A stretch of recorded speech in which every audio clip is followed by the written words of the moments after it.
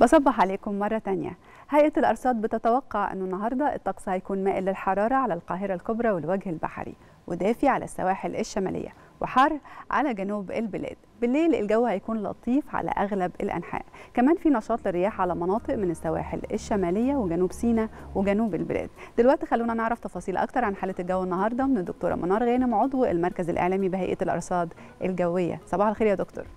صباح الخير على حضرتك أستاذة لميا وصباح الخير على كل السادة المشاهدين. أهلا بك يا أهلا بحضرتك وعايزينك تطمنينا النهارده الأجواء اللي إحنا بنتعرض لها بقالنا كذا يوم يعني حر وبرد وأمطار وبرق ورعد وحاجات كتير والرياح طبعا محملة برمال وأتربة. كل الفصول الأربعة عايشينها في يوم واحد بقالنا كذا يوم. فطمنينا عن حالة الطقس النهارده والحالة دي هتختفي إمتى؟ هو طبعا دي طبيعة فصل الربيع دايما. فصل الربيع معروف بتقلباته الجوية الحادة والسريعة والتغير الكبير في خرائط الطقس. بالإضافة كمان معروف إن إحنا دايما بنشوف فيه بالفعل الأربع فصول في يوم واحد. لكن الحمد لله الأحوال الجوية اتحسنت بشكل كبير من ظهر أمس. بدأت الأحوال الجوية تتحسن بدأت تتلاشى فرص سقوط الأمطار. اليوم هيكون طبعا في مزيد من التحسن في الأحوال الجوية. استقرار تام في الأحوال الجوية في معظم محافظات الجمهورية.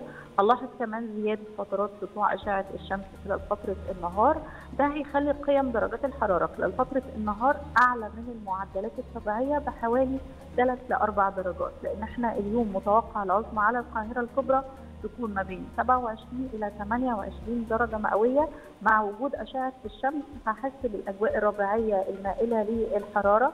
على القاهرة الكبرى والوجه البحري أجواء دافية بشكل كبير في المناطق الساحلية وطبعا بتكون قيم درجات حرارتها أقل من المحافظات الداخلية. بالإضافة كمان المناطق الجنوبية الأجواء عليها تكون أجواء حارة فترة النهار شمال وجنوب الصعيد وجنوب سيناء. ده بيكون طبعا فترة النهار مع وجود أشعة الشمس. لكن فور غياب أشعة الشمس ودخولنا فترات الليل أكيد بيكون في انخفاض في قيم درجات الحرارة.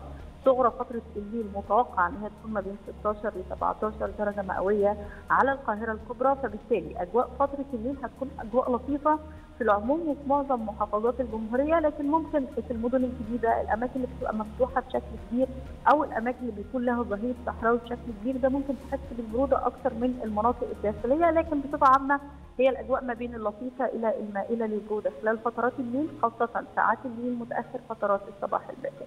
كمان بدأت الشبورة المائية تكون ظاهرة جوية مؤثرة فترات الصباح الباكر يمكن الساعات الماضية كان في شبورة مائية على أغلب الطرق الزراعية والسريعة والقريبة من المسطحات المائية.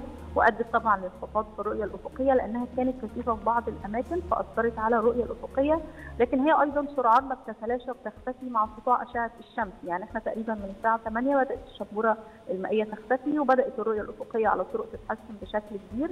كمان متوقع مع فترات المساء ساعات الليل يكون في نشاط نسبي للرياح في بعض الأماكن وأهمهم طبعا مناطق من شمال الصعيد مناطق من جنوب سيناء. ده بيخلي في توصيل في الأجواء بشكل كبير خلال فترات المساء وساعات طب هل الرياح دي مثيرة للرمال والأتربة؟ لا الحمد لله. غير محملة بأي أتربة ورمال مثاره لأنها معظمها قادم من على البحر المتوسط فبالتالي مش هيكون في أي أتربة ورمال مثاره وعلى الأقل في 72 ساعة اللي جاية الأحوال الجوية مستقرة. فقط التباين الكبير في قيم درجات الحرارة من فترة النهار وفترة الليل هو اللي هيكون موجود ومحسوس. قيم درجات الحرارة هتكون خلال الأيام اللي جاية كمان أعلى من المعدلات الطبيعية عشان كده إحنا بنأكد على كل السادة المواطنين لو إحنا اضطرينا نخفف الملابس فترة النهار وده طبيعي مع وجود أشعة الشمس والدفء اللي بنشوفه فترة النهار فترات الليل نحافظ على الملابس الشتوية تجنبا طبعا لنزلات البرد ولازم نكون في متابعة مستمرة ويومية للنشرات الجوية في فصل الربيع. سرعة رياح قد إيه يا فندم النهارده؟ اليوم سرعات رياح في الأماكن اللي هيكون عليها نشاط رياح ما بين 30 إلى 35 كيلو متر على الساعة لكن باقي مناطق الجمهورية زي القاهرة الكبرى ما بين 28 و 26 كيلو متر على الساعة.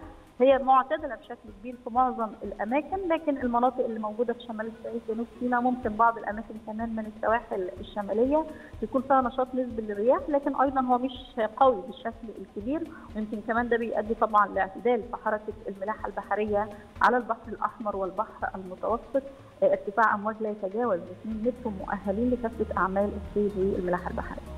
بشكرك في النهاية. شكرا جزيلا الدكتوره منار غانم عضو المركز الإعلامي بهيئة الأرصاد الجوية.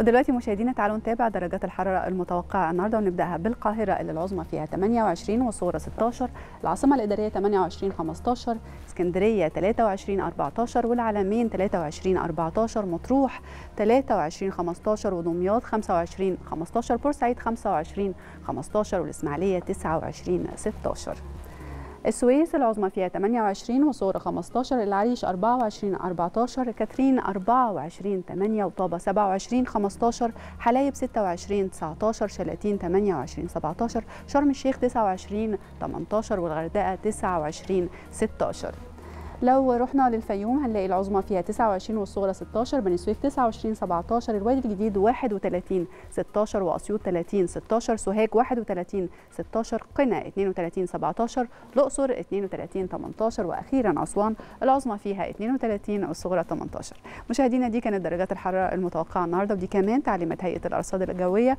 وعلى طول مرة ثانية هنروح لمنى وشاذلي نكمل معاهم فقراتنا شكرا ليكي يا لميا هناخد بالنا كويس مش هنخفف الهدوم بالليل. وهنلبس ماسكات عشان تراب؟ أسبوعين بس. بعد كده هنبتدي نحس بقى بالحر بتاع الصيف. شو إحنا خففنا بالفعل بس خلاص بقى هنحاول ناخد بالنا وخلاص. شكرا لك يا لميا